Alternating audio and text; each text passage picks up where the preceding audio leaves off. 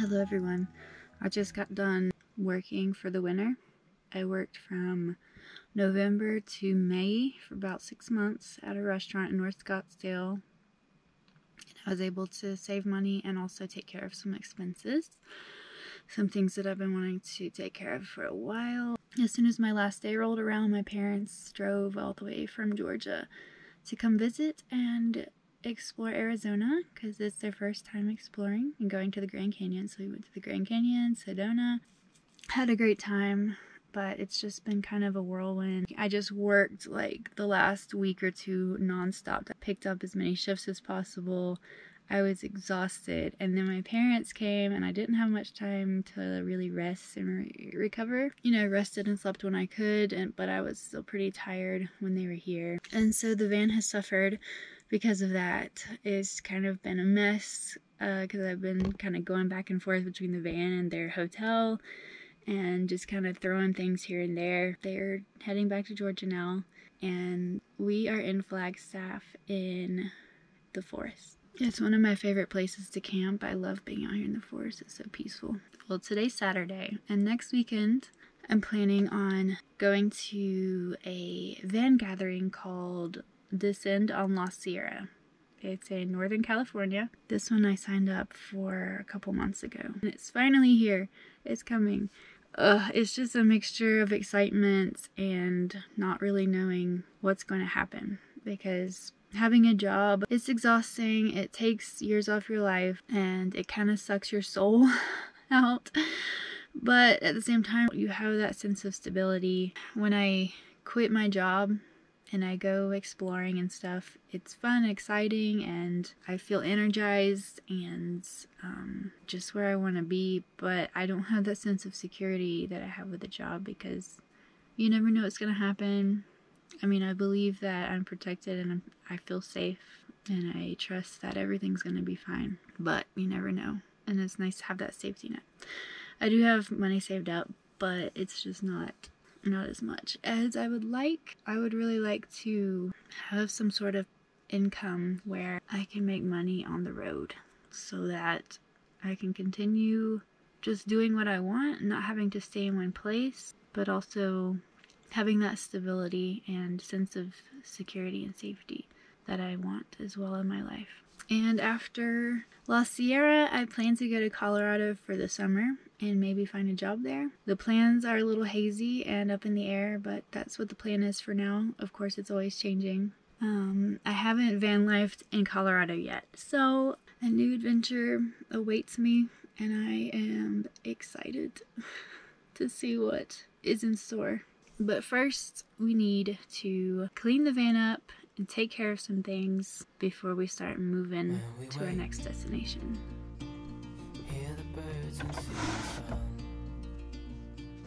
Sweetie.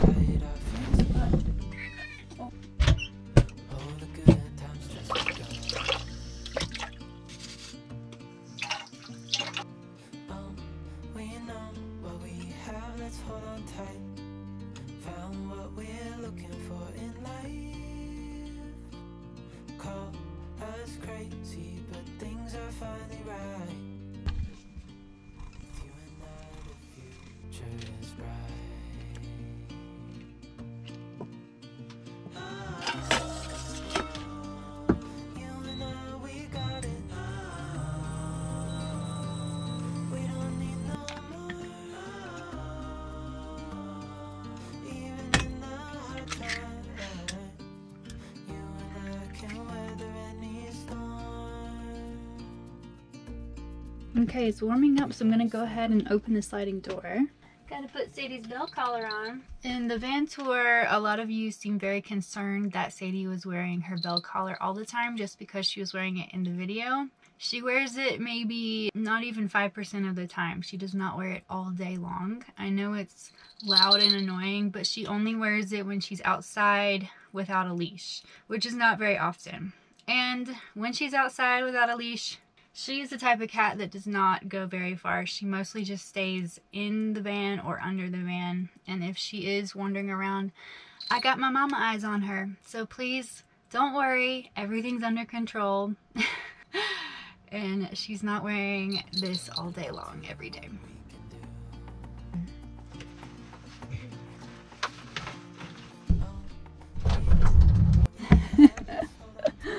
Sadie's so happy. She's so excited to be out. She already found a lizard to chase.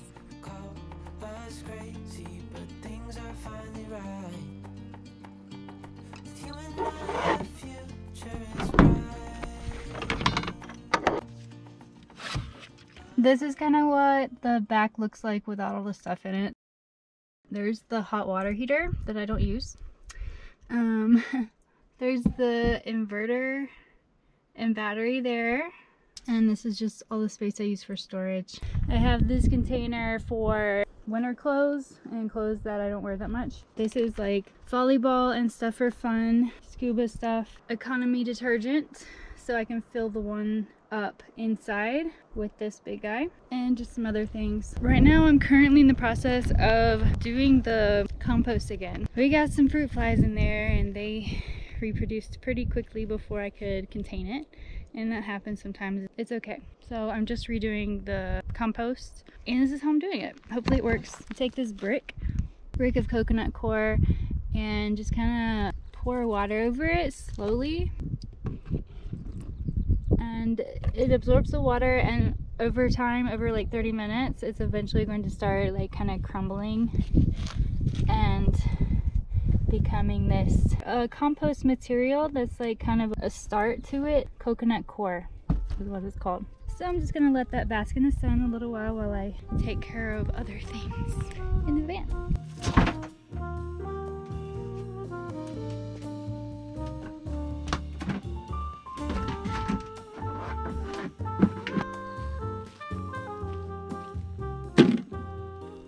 Oh, it's a dirty job, but somebody's gotta do it, right? I'm gonna dump the old gnat infested compost out and maybe clean it up a little bit, make sure there's no more gnats or eggs in there and let it air out while the new compost continues to absorb the water and break apart. One thing I want to do is paint the wheels black. They are silver now, but part of it is kind of coming off. They're looking a little dingy. I kind of like the way the all black wheels look on other people's vans. I have this Plastidip. Never used Plastidip, but a friend told me that it's probably the best thing for it because you can peel it off if you change your minds you can just peel the paint right off at first i'm going to wash them i've been wanting to do that for a while but it's been so windy in southern Arizona out in the desert. I guess because there's no trees to block the wind. But here it's very calm, so we shouldn't have any problems.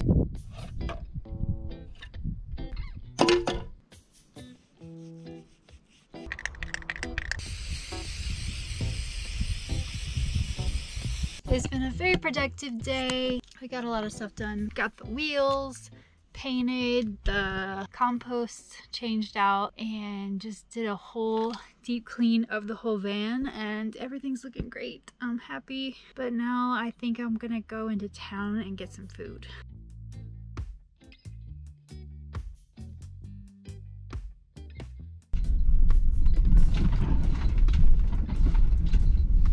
Alright, so I spent the night at a hotel last night everything was fine. Went to Starbucks, took care of internet things there. Then I went to Planet Fitness and showered. Now I just got back from Whole Foods and I need to put groceries away. And then I think we're about ready to hit the road and go to our next destination.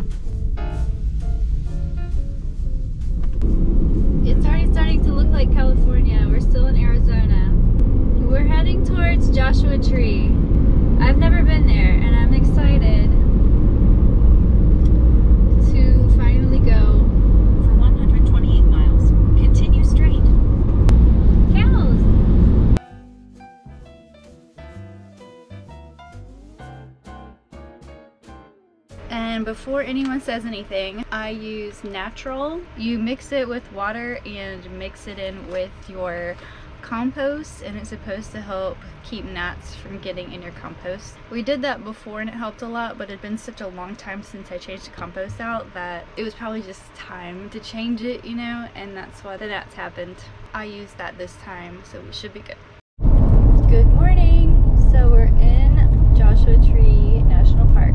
We entered from the south entrance. Last night I spent the night on I guess it's BLM land right outside of the park. It's about 8 a.m. and I'm driving in, trying to get here early because it's gonna get hot today. Once the sun gets up overhead, it's about four miles to the nearest visitor center. So we're just driving. I haven't seen a single Joshua tree yet. I'm on the lookout. but at least the first couple miles, it's just cacti and mountains. Not a whole lot to see, but it's still beautiful to me. I'm gonna try to find a map and see if there are any good hiking trails. So the map out there, the information board said that the parking lots usually fill up by 10 a.m. 7.39 now. My guess would be it's not as crowded once it gets this hot, but I could be wrong. And obviously this is the park. We are here. We started at the bottom in the south entrance and it looks like most of the stuff is over here at the north. Here it looks like maybe we can hike on top of a mountain. It says 5,000 feet. It's called Ryan Mountain and it doesn't really say how long the hike is. We're just gonna see when we get there. We're finally starting to see our first Joshua trees. Those funny looking spiky guys are Joshua's. There's some cool rock formations over there. I wish I had time to hike a lot more or go check out a lot more in this park, but with every passing minute, it gets hotter and hotter, so I'm just choosing wisely. I'm just gonna pick one thing to do. I wanna climb the mountain. Ooh, that's a big one. These trees are so cool. Another excitement that is comparable is probably the giant saguaro cacti in like southern Arizona. Those always excite me, and these Joshua trees kind of give the same excitement. They're just so weird and different, and they're everywhere. They have their own personalities, so much character. It's hard to describe why they're so exciting. They just are. so I tied a scarf around my hat. The idea is for extra sun protection from the sides and the back so my neck and the sides of my face are protected from the sun. In an attempt to not wear sunscreen. I don't like wearing sunscreen. It's my first time trying it out and it's beautiful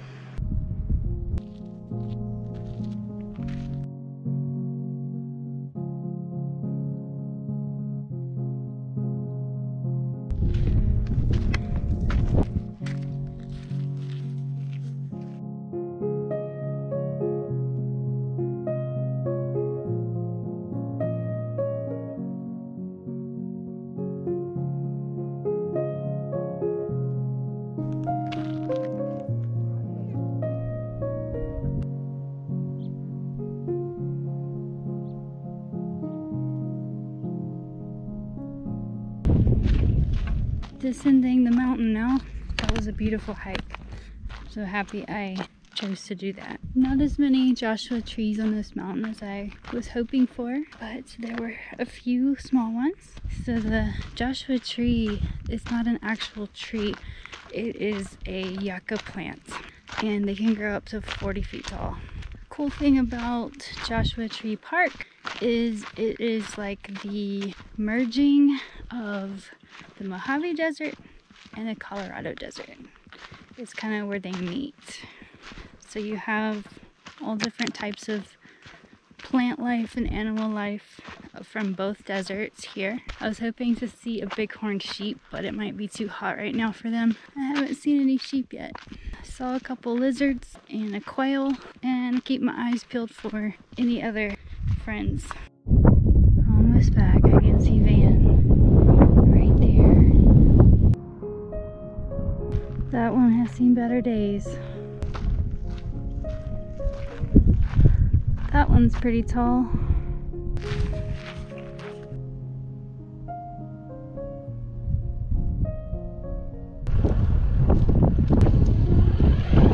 Hi. Are you blessing the van with your good luck? Thank you. So I think we're done with Joshua Tree National Park. I'm happy that I finally came here. Kind of reminds me of Valley of Fire with all the rock formations that you can kind of climb on. Now it's time to move north. We're gonna go through the park and get gas because we only have 67 miles left. And painfully put $7 a gallon in the tank. I don't want to do it. but we have to, so probably head to Yosemite National Park. It's not going to be as hot. I guess it's higher elevation. I don't know a whole lot about it, but I'm excited to check it out. So let's go.